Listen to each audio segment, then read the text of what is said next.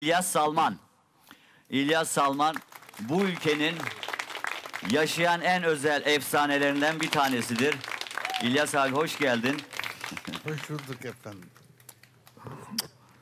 Şimdi bugün Münir Özkul'u da konuşacağız. Aile Algan'ı da konuşacağız. Tarık Akan'la dostluğu var. Halit Akçatepe'yle dostluğu var. Kemal Sunal'ın arkadaşı ve bu ülkenin de en özel insanlarından bir tanesi İlyas Salman. İlyas abi hoş geldin. Hoş bulduk Serkan'cığım. Nasılsın abi? E, Valla Türkiye'den daha iyi. Daha iyisin. Şimdi aslında çok şen olmak isterdim. Şen şakrak güzel bir program yapmak isterdim. Fakat bazı şeyler insanın mutluluğuna ket vuruyor, engelliyor. Mesela yılların arkadaşı, dostum, yoldaşım, sanatçı Aile Algan'ı kaybetmenin acısı içerisindeyim. Hani Ahmet Arif'in dediği gibi asıl bizim aramızda güzeldir hasret ve asıl biz biliriz kederi.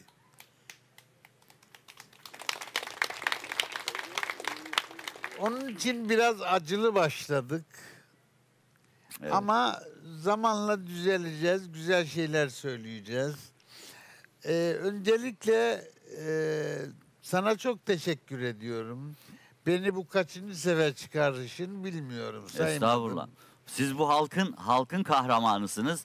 Halkın kahramanları da daima görkemli hatıralarda baş tacıdır. Halkın çirkin kahramanı.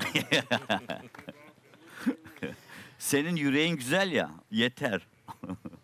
ya ben öyle biçimsel demokrasisi birisi değildim. Açık söylemek lazımsa. Yani içimin güzelliğini görenler beni seviyorlar aslında. Biliyorum. Bu programa çağırdığın için çok teşekkür ediyorum. Sevgili başkanımız, Konak Belediye Başkanı Abdülbatur dostumuza çok teşekkür ediyorum. Estağfurullah. Buraya gelmemizde büyük katkıları oldu. Estağfurullah. Sonra Cengiz Özkan dostumuza, yoldaşımıza çok teşekkür ediyorum. Eyvallah. Ben şey diyeceğim, sen yıllardır bu programı yapıyorsun. Türkiye'nin her tarafını dolaştın, dört yıldır. Hep şeyden bahsettin. Boş çuval dik durmaz. Şimdi Nazım Peyami Safa ile bir tartışması var kitap okuyup okumamanın bir insandan neler aldığını, neler verdiğini anlatan çok güzel bir hikayesi var aslında. Efendim, mikrofonumda bir arıza mı var? Ha. Neyse, Peygamber Safa Nazım Hikmet'e diyor ki, sen diyor Rus uşağısın diyor. Sen diyor gavursun diyor. Sen diyor Allahsızsın diyor. Nazım da diyor ki Peyami Safa'ya Ey yetimi Safa düşünme hatırla ki son defa çıkmak istediğim yaldızlı bir merdiven yok. Parmaklarımın ucunda ipekli eldiven yok. Çıplak bir yumruk gibi kellemi soymuşum ve kellemin içindekiler için kellemi koymuşum. Seninle boğuşmak istemem. Ey yetimi Safa evirip çevirmeyi, göze girmeyi filan falan bırakıp okuman lazım evlat. Kültür dediğin şeyin Karabet Usta'nın odununa benzemez suratı. O ne şapıtıra da çiğnenen sakız ne de vatan yavrusu size de Abdullah Çavuş'un tiradıdır. O şaha kalkmış bir kavga atı, kalın kabzalı bir savaş kılıcıdır. O atı atlayacak yürek, o kabzaya bilek gerek diyor. Sizi anımsadık. Nurlarda yatsınlar. İkisi de bu ülkenin çok özel kıymetleriydi. Onları hiçbir zaman unutmayacağız. Aile Algan'la isterseniz başlayalım.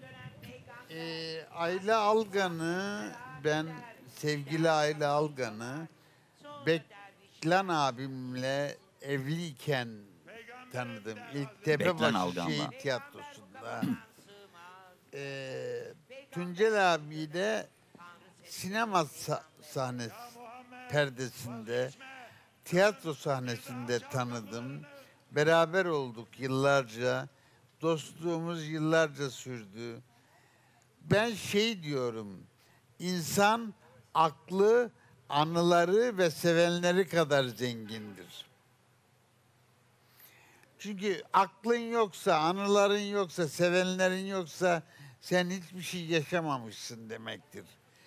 Şunun üzerine şey geliyor aklıma. Diyorum ki aramayın beni başka yerlerde. Bunu Tuncel abi de söylüyordu Kurtiz'de.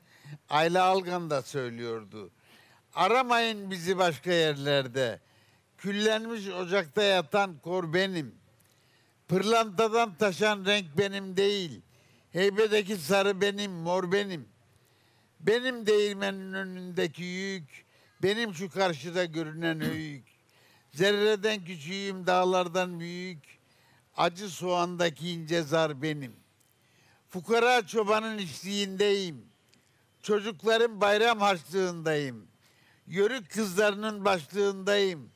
Dağa adaşa, kurda kuşa yer benim. Ben posta çökelek pekmezde şıra. Ben gazı tükenmiş isli bir çıra. Tarlaya, toprağa, taşa, bayıra. Alınlardan yere düşen ter benim. Ne yapsanız ne etseniz nafile. Silmişim kavalamız rabatele. İster kader değil isterse çile. Efkar benim, çetin benim. Kavga benim, zor benim. Ben Tuncel abiyi de Ayla ablayı da güzel anımsamak istiyorum. Fakat şimdi şairimiz diyor ki hayata beraber başladığımız dostlarla da yollar ayrıldı bir bir. Giderek artıyor yalnızlığımız. Evet. Teker teker değerlerimizi kaybettiğimiz sürece yalnızlığımız artacak. Onları uğurladık. Siz gitmeyin istiyorum. Evet, Ayla Algan. Başkanım Ayla Algan'la tanışma fırsatınız oldu mu? İzmir'e, olmadı. Çeşme'de, Çeşme'ye çok gelirdi. Hiç oldu ama tabii hayranlıkla izlediğimiz çok değerli bir sanatçıydı. Tiyatroda, sinemada, daha sonra dizilerde izleme fırsatı oldu. Asıl e, bizi yurt dışında çok iyi temsil eden bir ses sanatçısıydı. E, ve bu daha doğrusu Erkan Özarman'la beraber çalışıyordu bildiğim kadarıyla.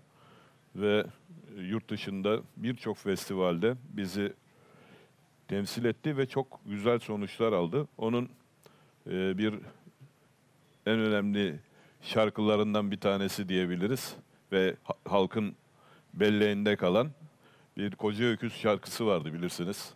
Evet. Gerçekten e, bütün halkımızın belleğinde hatta bizim de belleğimizde kalan çok değerli si- e, sanatın her dalında kendini yetiştirmiş, ispat etmiş ve temsil kabiliyeti çok mükemmel olan bir sanatçıydı.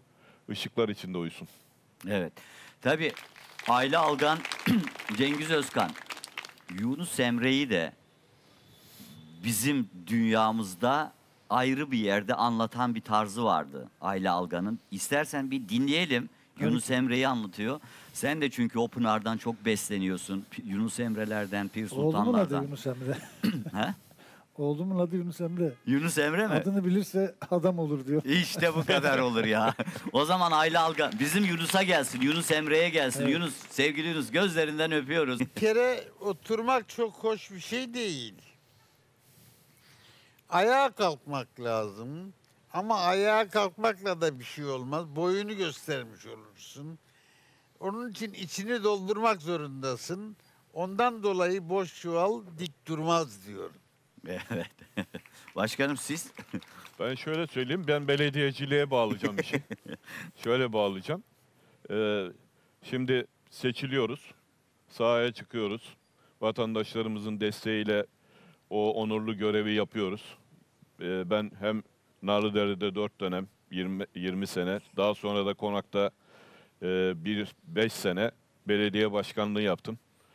Eğer e, çuvalımız boş olsaydı şimdiye kadar yıkılırdık. Onun için hep çuvalı doldurduk. Her e, seçimde bir önceki seçimden daha başarılı neticeler aldık. Ve boş çuval şeklinde olsaydık şimdi yoktuk.